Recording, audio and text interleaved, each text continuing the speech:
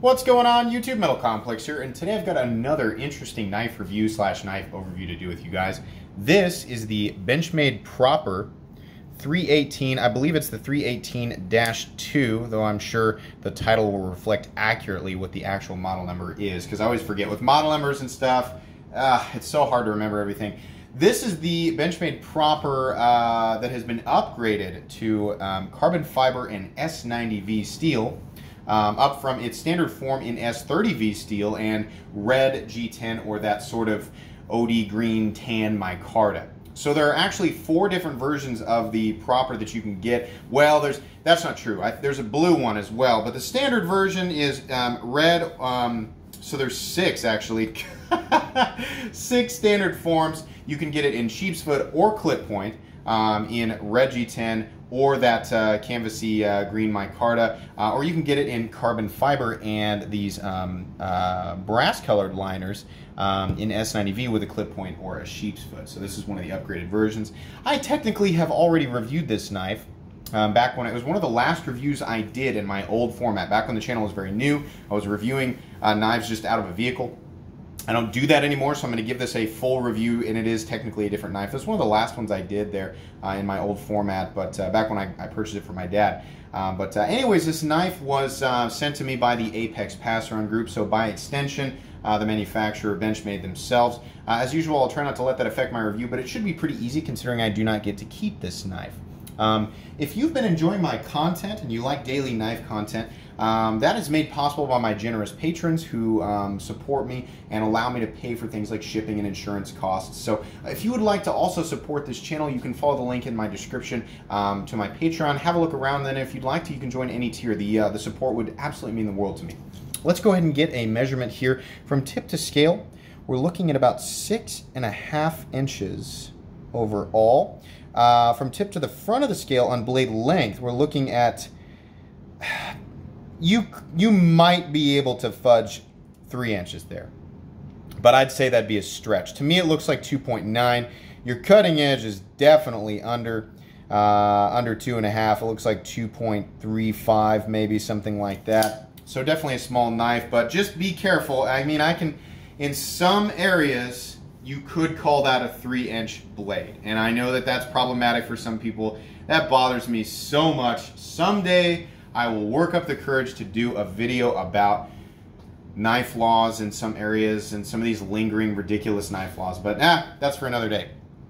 Let's go ahead and do some size comparisons here. Up against the Ontario Rat Model 1. Rat 1, a much larger knife coming in at 8.6 inches overall, so you can see there um, this is a gentleman's carry slip joint, so it's obviously going to be substantially smaller. Up against the Spyderco PM2, Spyderco PM2 coming in at about 8.3 inches overall, so again, substantially larger. How about up against a uh, the Benchmade Griptilian, in this case, the Ritter Hogue. Ritter Hogue is coming in at 8 inches overall, so again, substantially larger. How about a little bit smaller, Spyderco Para 3, Spyderco Para 3 coming in at 7 and a quarter inches overall, so closer Let's do one that's more in the same uh, wheelhouse here, the Victorinox Cadet. The Victorinox Cadet's coming in actually smaller at, I always forget because I don't use it as a size comparison often, 5.75 inches overall. So larger than the Victorinox Cadet. How's the action on this guy? Well, this is a uh, slip joint, which means it's non-locking blade. It does have a mid-stop right here and snaps into place. That is exactly how all slip joints should function. I actually, the Victorinox Cadet, the only thing about it that bothers me is it doesn't have a mid-stop. Why is it important? Well, the mid-stop, a lot of us, you know, our first cuts that we ever got with pocket knives were from slip joints. And it's because you get to that kind of foggy, uh, the event horizon on a slip joint, and it just snaps into place that mid stop, when I'm out doing something with a pocket knife, it lets my brain know subconsciously, hey, you're nearing the point where the blade is going to snap back into the handle. And it's kind of giving you this extra zone to go, hey, hey, hey, buddy, hey. You know, it's like the parking sensors on your car. When you get close to something and it starts beeping and beeping louder and louder and louder, that's kind of like what it is. I like that past this point has a nice snap back into place. No wiggle or anything like that. It's just it's going to snap right in there. So I, I, really appreciate that. It's nice and smooth. It's running on phosphor bronze washers. This is not a knife that has to have a fall shut, and no knife has to have a fall shut action, but this is a slip joint blade. It, it does exactly what I would expect it to do. Um, these are carbon fiber handles, and it has, I don't think they're actually brass line. I don't know if they're um, titanium liners or not. I think they're steel liners that just are brass colored, but I, I, could be wrong about that. Somebody in the comment section always, always corrects me, and people always get mad at me. They're like, "You should have looked that up before you did." Okay, sorry. Uh, 2.15 ounces on the weight there. Let's go again. 2.15 ounces. No issue with that whatsoever. It is uh, heavier than the Victorinox Cadet at 1.66 ounces, but it is a little bit bigger. Those of you who subscribe to the idea that blades should be directly corresponding, blade length should directly correspond with ounces, so an ounce an inch, um, that uh, knife falls right into that category. This knife does not have a pocket clip, but I will let you guys know, for those of you who just can't stand to put one of these in your back pocket without a clip, you can easily purchase something like this titanium suspension clip, which I'll try to remember to link in the description um, for about 10 bucks. Yeah, I know you can get them for about $2, but I've heard those are crap, and I'd much rather have something that I can trust to keep my knife in my pocket if I really have to have it clipped there. I think this is a prime candidate, though I've kind of gotten used to just throwing this guy in my back pocket, um, so I don't have an issue with that. Um, on this particular version, we are uh, looking at the clip point style blade. Like I said, these do come in a sheep's foot configuration. Um, this is about as perfect as a clip point blade as I've ever seen. It's very, very classic. Um, I feel the exact same way about the sheep's foot blade. I'll tell you, I've actually given two different Propers as gifts. I gave my dad um, this exact one uh, in S30V and red G10. His favorite color is red uh, for Father's Day. And I told him, I said, hey, dad, keep this in your truck, use it as a letter opener, whatever you need. This is the perfect knife to just kind of keep on your desk um, uh, or in your truck as just kind of to do whatever you need to do right then and there knife. Um, and I gave it to him the clip point configuration. Then I also gave um, one of these upgraded versions to my buddy uh, Mitch, who is Endure88 on Instagram, the gentleman who has done all the artwork for the channel. The metal knight you guys see as my banner, uh, the metal helmet here that I have um, as one of my Patreon incentive stickers, as well as the actual Metal Complex logo. He's done all of that. He's still working on some other things. The guy is awesome, and I, I surprised him, and I wanted to say thank you. Um, so I got him a uh, carbon fiber and S90V sheep's foot um, Benchmade Proper. He is uh, he was uh, not he's not a knife guy. You know, I mean, he appreciates cutlery at, at its base form, but I said, hey, um, for what you do, you know, day to day and in his real job, you know, I was like, you don't need any any hyper tactical, aggressive, like super knife guy kind of thing. You know, a straightforward slip joint's probably going to be the way to go, and I, I purchased him that. So I, um, I, I, told him, I said, I, I, like this knife. Spoiler alert, I do like this knife, um, and uh, I wanted to wanted him to have that. So I think these make excellent, straightforward, gentleman's carry slip joint knives. Um, there, there are a lot of elements that they just did exactly right. We're going to go over everything here. As far as the finish goes in the blade, this is Benchmade's typical tumbled finish, which I think just looks excellent. Um, that's really cool. This is S90V steel, and let me tell you, um, S90V is not a tough steel. It is a stainless steel, and it has ridiculous edge retention. It's one of the best uh, edge retentive steels out there. So these qualities are exemplified in small blades that are not designed to be used during tasks that would require a lot of toughness or impact, you know, resistance or anything like that. These blades are designed to cut. They're designed to cut, you know, materials that are, you know, softer, or not nearly as hard as steel, and then for elongated periods of time or over a long period of time. What better style of knife to exemplify those traits than a small gentleman's carry EDC uh, slip joint. I think this is one of the best examples of S90V in terms of size and overall blade geometry that I've ever seen. You have a blade stock thickness, and that goes for S110V as well. I'm not saying if you have a Spyderco PM2 in S110V that you that that's a dumb knife to have it on. I'm just saying I, I really like these these types of super steels on these little tiny knives. You know, to each their own. We have a blade stock thickness of basically nothing. Um, so your actual edge you know, even though it doesn't have a lot of room to drop towards the cutting edge, you actually come to a pretty thin cutting edge. This is going to be a pretty slicey little blade. Fantastic for, you know, little package opening jobs, letter opening jobs. I mean, this is just the quintessential, just simple EDC gentlemanly folding knife. Uh, really like that. They've done a good job making sure that none of these edges are sharp and that your edge Um, there's a little bit of debris here from whoever used it on a package before it got to me. Um, but your edge is nice and clean. Um, a lot of people say things like, oh, Benchmade has the, well, I say a lot of people, I've said that before. Benchmade has had quality control issues in the past. But guys, I said this in the comments section the other day. The last, you know, five to 10 Benchmade knives that I've handled, especially their newer models, they seem to have taken, you know, maybe maybe it's just the one, maybe it's just like the last five to 10 that I handled were like the best examples I could have handled. But from my perspective, it seems like Benchmade is doing something to up their quality control game. Fit and finish on the last few that I've handled is excellent. Just want to throw that out there. Um, but anyways, yeah, nice all the way around. I have no idea why they put jimping on the blade here. There's no reason to bear down on the blade right here because it doesn't lock. so, okay, but there is jimping back here on the handle, so perhaps it's just an extension that makes it look aesthetically nice. You can bear down on this knife back here, but don't bear down on the knife up here. That's not a good idea. You're going to cut your finger. Uh, like where Benchmade puts their logo. I like that it says S90V. The blade is perfect other than this area right here. I also really enjoy the position of the nail nick. You can pinch it open or you can stick your fingernail in there and open it up. Um, I'm not a slip joint expert though, guys, so I may get some of these things wrong. The carbon fiber is slightly contoured. It's also nicely rounded off all the way around, and it looks absolutely beautiful.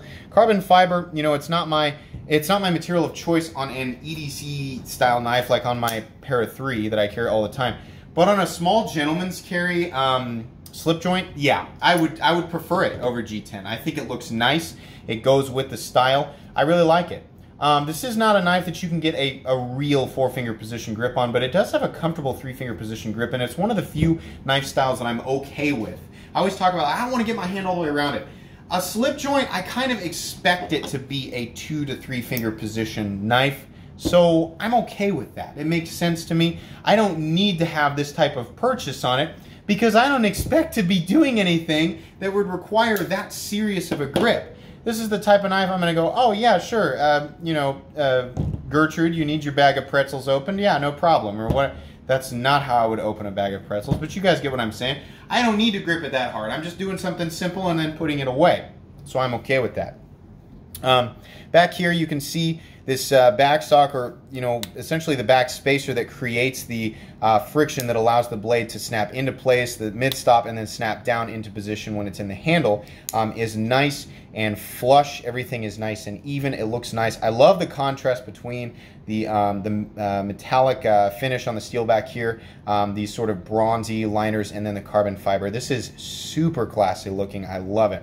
Nice little lanyard hole back here which will do much better if you're going to use it to just attach a keyring and attach a, um, a, suspension clip like I showed earlier. Um, that's nice that that's there. Here's my favorite thing about this. It's a slip joint that's not pinned, which means you can adjust it despite it being, are these all T6? Yeah, looks like it.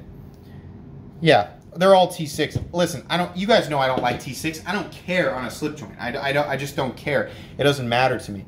If I need to take this knife apart, um, I've seen takedown videos of this. It's pretty easy. We've got uh, the pivot and then a couple of Chicago screws back here, a couple of screws right here. You pull this side of the pivot out and bam, you're on the inside. Um, you've got two scales, you've got two liners, and then there's some phosphor bronze washers on the inside of here, which can we see? Yeah, you can kind of see. I don't know. Can you guys see? Yeah, there they are. Phosphor bronze washers on the inside. Fantastic. Fantastic. Are you serious? That's great. You can make the little adjustments and keep this thing cleaned out. And oh my gosh, talk about a slip joint style knife that is designed to, to last. You know, that's the thing. I mean, dig around in your junk drawer in your kitchen. Or, you know, if you've got storage boxes from your parents or your grandparents, guarantee you you're going to find an old slip joint knife somewhere. You know, a, a case or a, um, or whatever.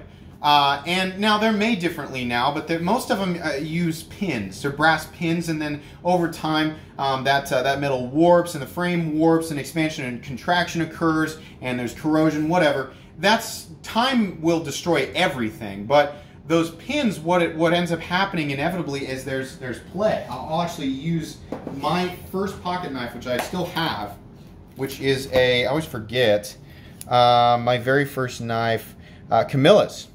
And yeah, there's blade play, and these pins come out, and the scales come out of the come off of it. I mean, what am I going to do here unless I want to take it to a jeweler or uh, you know somebody who restores pocket knives, I guess. And that's I mean, that's not necessarily saying that I should expect every knife to last as long as it did. I mean, in all fairness, that knife was my grandpa's um, when he was younger, and he gave it to my dad, and then my dad gave it to me. And then it finally, the scale finally came off of it, and I didn't maintain it or anything like that. But what I'm saying is, is this deal here with the screw setup where you can adjust things, take it apart and clean it. Um, yeah, that's going to ensure, at least if you want to do the maintenance, that this thing lasts as long as possible.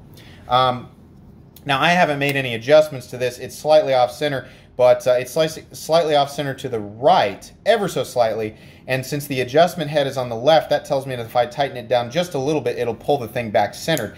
Every Proper that I've handled has been centered, and it has had zero blade play. And I have a Benchmade dealer in town, so I've handled quite a few beyond the two that I've handled, um, giving to my friend and my dad and this version here. That's impressive for such a small knife. I have like almost no complaints about this thing. I can wave off the T6 screws. I'm gonna even wave off the weird jimping back here because as long as you're smart enough to keep your fingers back here, it's no big deal. This is, god dang, this is one of my favorite newer Benchmade knives. It's such a good knife. The only problem with this version of it is it's a little bit expensive. Yes, it is 100% USA made. Uh, yes, we're looking at carbon fiber that has been contoured. We are looking at excellent fit and finish, and we're looking at an ultra premium steel, S90V. But it's $200. $200 is a lot of money. It doesn't matter what you're looking at. $200, right? We're a little high. Um, I think I would accept, like, I still, I wanted to get my friend and my dad knives that I think, uh, you know, that they would like and that were very useful. I think that the proper itself is ever so slightly overpriced, and I think this ultra premium version is more overpriced, but it's not so overpriced that it's like kicking the groin, you know? It's just a little high. I would accept 180. This knife would make perfect sense to me at about 160 to 165. It's just a little bit high. But rest assured, I'm still gonna recommend this knife. Absolutely. This knife is definitely going in my most recommended knives playlist. And I know a lot of you are like, what? You just did that most overrated knives video and you said the 940 in freaking carbon fiber and, and S90V was massively overpriced at like 270. It's only 70 more and you get an AXIS lock on that and it locks. Yeah, I, I still do think that one's massively overpriced. I would do a lot better with that knife at about $200 and this knife at about 165. But do I think it's absolutely outrageous? No, it's just kind of, but you know, it didn't stop me from purchasing this as a gift and giving it to a friend. So I'm not going to tell you guys that it's not worth it. I can still recommend this knife. Um, it's it's going to go on my most recommended knives playlist. Just know, you know, it, it is a little, the, the price is a little, but you're going to enjoy it for years and years and years to come. And if this is the type of thing you're looking for, if you're looking for an ultra classy, long lasting, dependable, EDC slip joint, right? Where the end user was absolutely taken into consideration. You know, I mean that the whole, all of the consideration. Um, then this is going to bring you a lot of happiness. Guys, that's going to be pretty much it for today's uh, review and overview. I hope you enjoyed this video. Like I said, if you're enjoying my content, um, you know, please do check out my Patreon. That support really would mean the world to me. There's also down in the description, of course, an Amazon affiliate link where you can purchase this knife for yourself and at the same time support me, as well as some other really cool EDC items and uh, the tools that I use to maintain my own knives. So whether you're purchasing that stuff for yourself or a loved one or somebody you're just trying to get into the EDC or knife world this holiday season, uh, for whatever reason, um, that, that'll support me. So I would, I would really appreciate that. If you enjoyed this video, please leave a like.